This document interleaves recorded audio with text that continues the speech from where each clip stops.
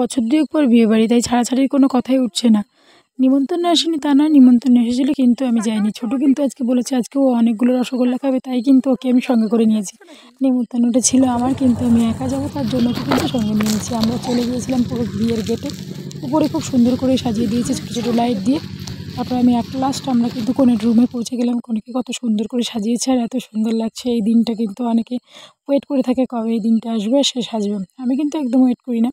এখানে কে কোন অ্যাঙ্গেলে ফটো তুলবে সেটাই অ্যাকশন নেওয়া হচ্ছে, ঠিক আছে? আশেপাশে এই যে সবাই দেখুন কীভাবে কোন অ্যাঙ্গেলে ফটো তুলছে ডাক পড়েছে। নিয়ম আছে নাকি বরের বোনাইকে নাকি মেয়েকে ছাদনাতলা নিয়ে যেতে হয়? তাই এই যে কোলে করে নিয়েই নিয়েছে। আমি ভাই তো খুব দেখে ভয় পাচ্ছি। তো কী করে হবে? পড়ে না যায় কোল থেকে।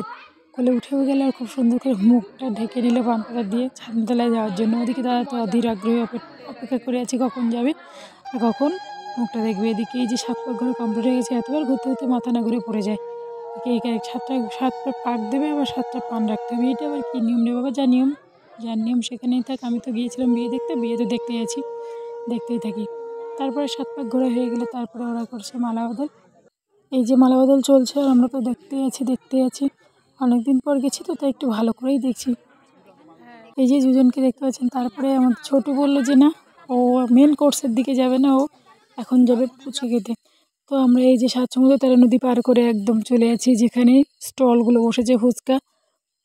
চায়ের স্টলগুলো যেখানে বসেছে, সেখানে আমরা চলে গেলাম সাত সমুদ্র তেরো নদী পার করে, কারণ অনেকটা দূরে জায়গার সমস্যার জন্য পাশে ধান চাষ হয়েছে। এই দেখুন, ওই জন্য কিন্তু অনেকটা দূরে প্যান্ডেলটা করেছিল খাওয়া দাওয়ার প্যান্ডেলটা।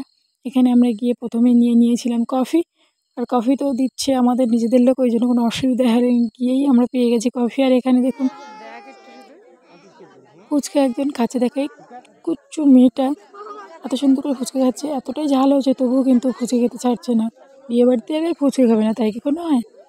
ছোটো হোক আর বড় হোক। আর এই যে ভিড়টা দেখছেন এ কিন্তু খাওয়া দাওয়ার ভিড়, এত ভিড় আমি কখনো দেখিনি, কোনো দিন খাইনি কী হবে, বাধ্যতামূলক খেতেই হবে। কিন্তু ক্যাটারিংয়ে আমাদের চেনা লোক দিচ্ছে বলে আমাদের কোনো অসুবিধাই হয়নি।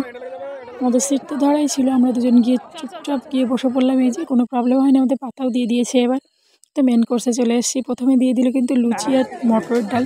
তারপরে খাওয়ার শেষে চলে গেছি একদম। গিয়ে ছোট যে মিষ্টি খাচ্ছে, ও কিন্তু বলেছিল অনেকগুলো খাবে। তো আমি ওকে এক্সট্রা একটা দিলাম।